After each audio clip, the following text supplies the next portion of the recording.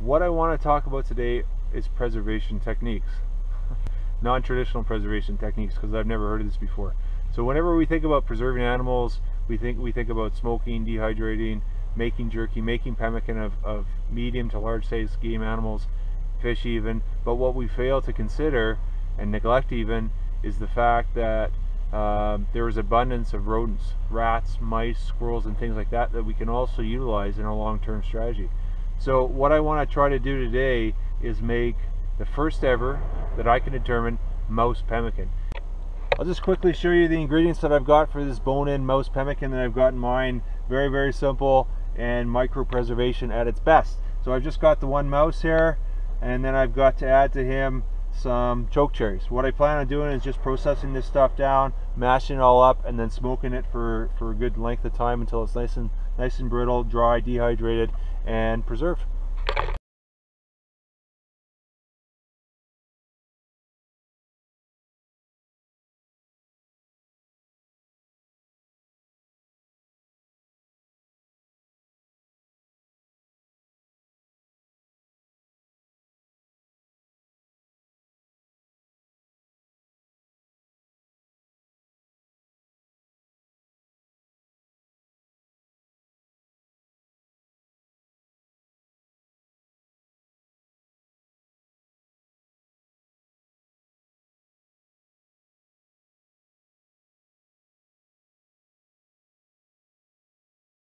There's not a lot of meat left on a mouse. I've, I've kept everything I could intact. The head is still there, the eyes are there, the brain is there. I can use all of that in my pemmican. The only thing I've taken out are the limbs of the arms, the tail, and the entrails because I couldn't get the hair off the limbs basically, so I took them off. Uh, but these these entrails and this this fur, I can use in my other traps. I can use them to bait coyotes, badgers, skunks, things like that. So that's good stuff. I'm going to hold on to it. Even though there's not a lot of meat on this little guy, if I have 10 or 20 or 30 of these, you know, extra sitting around and I've already met my caloric needs, I can throw them into a pemmican and you probably have a really, really good portion of pemmican to draw on down the line.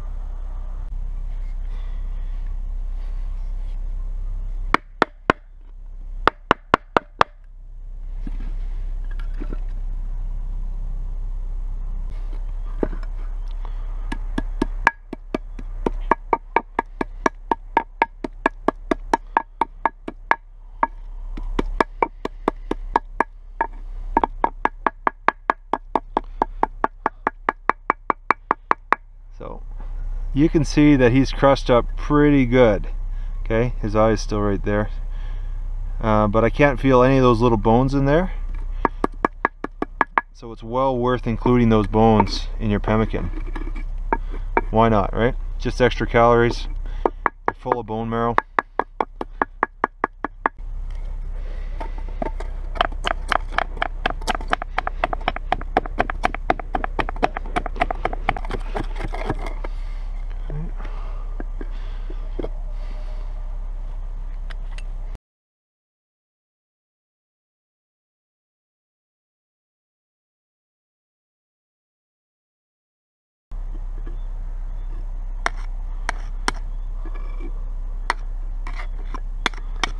There's my mixture right there.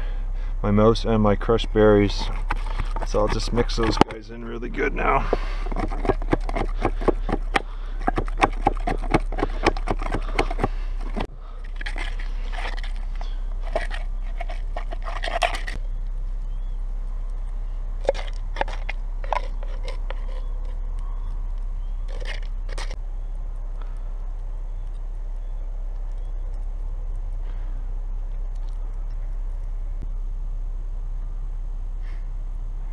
There is my uh, bone-in mouse pemmican mixture right there. As you can see, I left all the pits in the uh, the choke cherries. Not a big deal.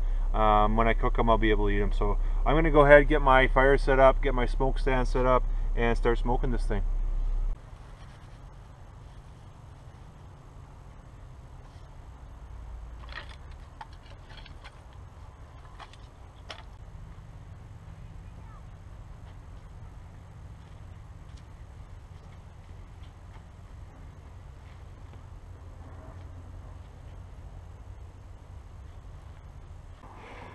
Here's the cooking setup that I'm going to go with here. Like everything I do is super simple. So basically, my pemmican mixture, which is like glue on there right now on that rock, will just go down on top of these two crossbars like that. Okay, and then I'll use this blanket right here just to cover up the entire the entire thing uh, just to contain the smoke when I start my fire so it'll look something like that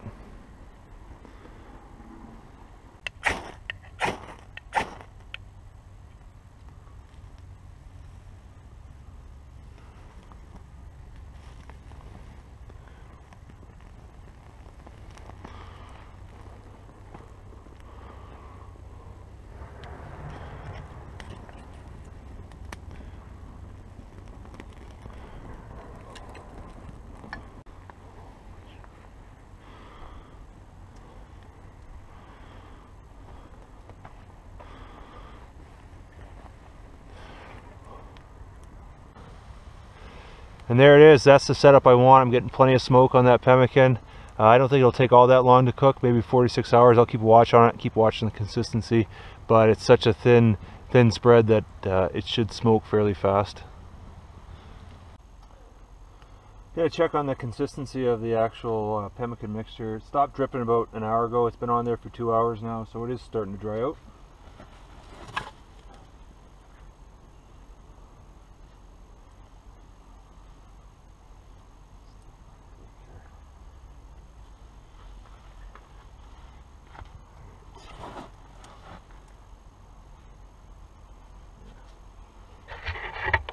It is starting to dry out around the edges, as you can see. Still soft in the middle though, but like I said, it's not dripping anymore. So I'll put it on for a couple more hours here, and then uh, see how it looks.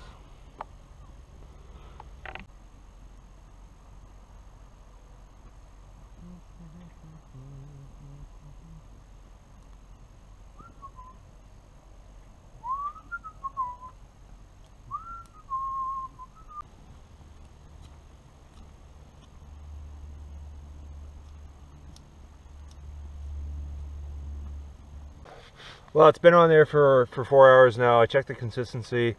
It's dried, dehydrated out, so I think we're good to go. I'm going to go ahead and take it off right now, uh, and we will give it a test try. So, actually the rock broke. See that? But it's fairly good consistency. I'm happy with that. Okay, let's try this bone-in mouse pemmican of mine.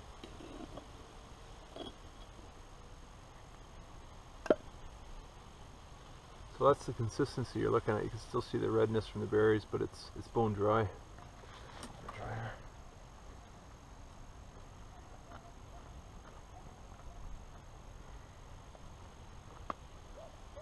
Actually, it's pretty good. It tastes like burnt cherries. That's it.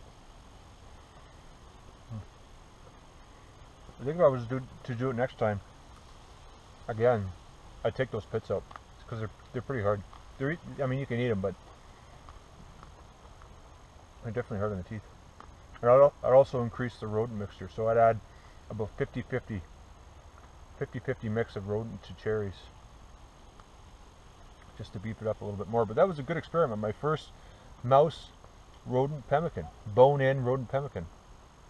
And full, dis full disclosure, I know it's not real pemmican. There's no suet, there's no fat in it, but it still is preserved um, rodent protein and fruit that you can take into the wintertime and and and uh, and use in lean times. So it may not be real pemmican technically, but the same principles, the same idea applies. It's still preserved food that you can use in lean times. So I'm really happy with the way that turned out. That's pretty good.